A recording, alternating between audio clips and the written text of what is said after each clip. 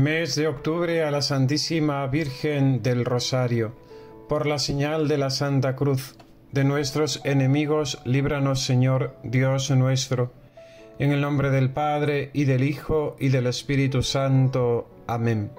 Bendita sea la Santísima Trinidad, que formó a María Santísima Inmaculada desde el primer instante de su ser, conservándola pura antes del parto, en el parto y después del parto, y enriqueciéndola con todas las gracias y dones de su Divino Espíritu, por todos los siglos de los siglos. Amén. Gloria al Padre y al Hijo y al Espíritu Santo, como era en el principio, ahora y siempre, por los siglos de los siglos. Amén. Gloria al Padre y al Hijo y al Espíritu Santo, como era en el principio, ahora y siempre, por los siglos de los siglos. Amén. Gloria al Padre y al Hijo y al Espíritu Santo, como era en el principio, ahora y siempre, por los siglos de los siglos. Amén.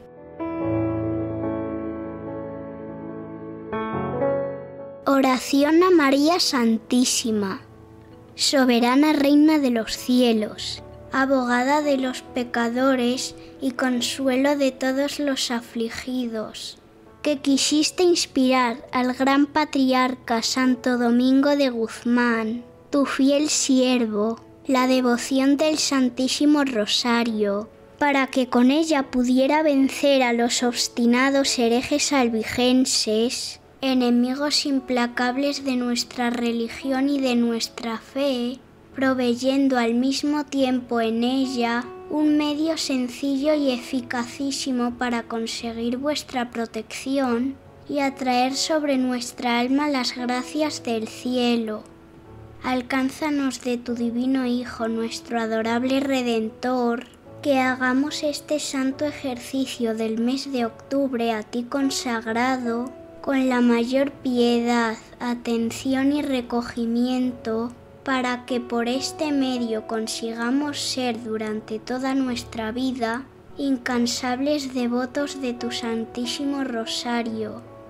Tú, oh Virgen María, cuyas gracias y misericordias para con los que te invocan no se agotan jamás, haz que en estos días participemos de ellas con mayor abundancia a fin de que considerando en esta vida tus virtudes y procurando al mismo tiempo imitarlas, podamos algún día cantar tus alabanzas en la gloria y por toda la eternidad. Amén. Día decimoquinto. Tejiendo una corona de espinas, la pusieron sobre su cabeza. Punto primero Consideremos hoy, alma mía, la coronación de espinas, que es el tercer misterio doloroso del Santo Rosario. En primer lugar, son de notar grandemente las ingeniosas trazas que aquellos sayones que atormentan a Jesús empleaban para hacerle más dolorosa su pasión. No satisfechos con despedazar esas espaldas con azotes y su rostro con crueles bofetadas, atormentan también su cabeza sacratísima poniéndole esta corona de espinas. Si querían deshonrarle poniéndole como rey de burla, no bastaba que colocaran sobre su cabeza otra corona que solo sirviera de escarnio y de desprecio. Pero en la pasión de Jesús, como inspirados por el mismo Satanás, no solo son dolorosos, sino ingeniosamente crueles. Por aquí puedes comprender, alma mía, cuánto odio tiene triste como un enemigo del género humano a todos aquellos que sirven a Dios. Había notado que Jesús cumplía exactísimamente con la ley y que con sus divinas predicaciones era parte además para que otros la cumplieran. Y por esto no pueden ver con paciencia que Jesús viva por más tiempo, y no contento con esto, procura atormentarle de todas maneras para hacerle caer, si posible fuera, en alguna impaciencia o en la desesperación, pues dudaba que fuera Dios y hombre al mismo tiempo. Mira, por lo tanto, si debes estar alerta para no caer en las redes que constantemente te tiende este enemigo. Y ten por cierto que si no velas mucho sobre ti misma, caerás con frecuencia en el pecado. Punto segundo. Mas, ¿cuál era el número de las espinas que componían esta corona dolorosa? Nada nos dice el Evangelio sobre este particular, pero la tradición las hace subir a 82. Aunque no fueran tantas, cuánto debieron atormentar a Jesús estas agudas espinas. Y esto se comprende considerando el dolor que nos causa a nosotros solo la punzada de una aguja.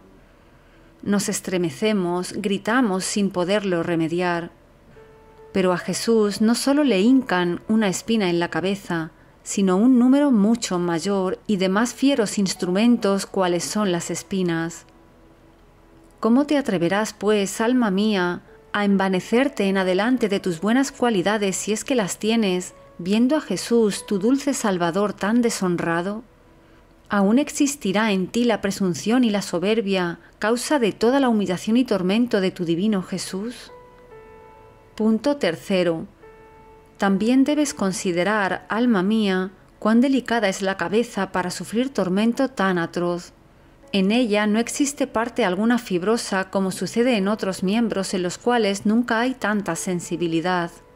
Las espinas tuvieron que tropezar inmediatamente con el hueso, y esto es causa de un dolor terrible. ¿Cómo estaría Jesús, pues, con su divina cabeza herida con tantas espinas y perforada por tantas partes? Y aún con todo esto, apenas si ha destruido tu grande vanidad y tu soberbia, objeto principal de todos estos dolores. Jesús no se cansaba de padecer y tú tampoco te cansas de ofenderle. ¿Puede darse mayor ingratitud ni dureza de corazón? Medita, alma mía, una y muchas veces cuánto sufrió Jesús por tu amor, que esto te moverá seguramente a servirle y a olvidar tus vanidades sea este el remedio más eficaz que emplees para conseguir tu último fin. Oración a Jesús coronado de espinas. Poderosísimo Rey de la Gloria, dulce Jesús mío, qué confusión y vergüenza me causa verte por mi amor con esa corona de espinas en la cabeza, siendo así que los serafines forman en el cielo tu corona. ¿Quién, Dios mío, podrá conocerte viéndote por los pecados de los hombres tan deshonrado y atormentado?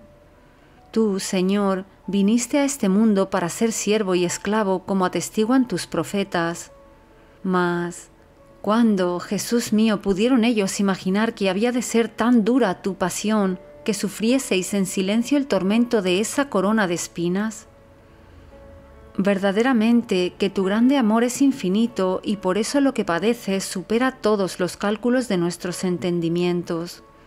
Oh Dios mío de mi vida, que yo medite con frecuencia estos misterios, sobre todo cuando rezo el Santo Rosario, para que de esta manera, sirviéndote a ti y a tu Madre bendita en la tierra, cante tus alabanzas en la gloria eternamente. Amén. Obsequio a María decir con frecuencia entre día esta jaculatoria. Jesús, José y María, os doy el corazón y el alma mía. La Virgen María prometió a Santa Matilde y a otras almas piadosas que quien rezara diariamente tres Ave Marías tendría su auxilio durante la vida y su especial asistencia a la hora de la muerte. Confiados en tal promesa, Invoquemos a la Madre de Dios diciendo, Dios te salve María, llena eres de gracia, el Señor es contigo, bendita tú eres entre todas las mujeres, y bendito es el fruto de tu vientre Jesús. Santa María, Madre de Dios, ruega por nosotros pecadores, ahora y en la hora de nuestra muerte. Amén. Dios te salve María, llena eres de gracia, el Señor es contigo, bendita tú eres entre todas las mujeres, y bendito es el fruto de tu vientre Jesús. Santa María, Madre de Dios, ruega por nosotros pecadores, ahora y en la hora de nuestra muerte. Amén. Dios te salve María, llena eres de gracia, el Señor es contigo, Bendita tú eres entre todas las mujeres, y bendito es el fruto de tu vientre Jesús. Santa María, Madre de Dios, ruega por nosotros pecadores, ahora y en la hora de nuestra muerte. Amén. Sagrado corazón de Jesús, en vos confío. Inmaculado corazón de María, sed la salvación mía. Glorioso Patriarca San José, ruega por nosotros.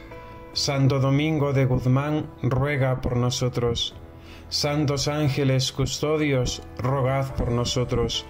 Todos los santos y santas de Dios, rogad por nosotros.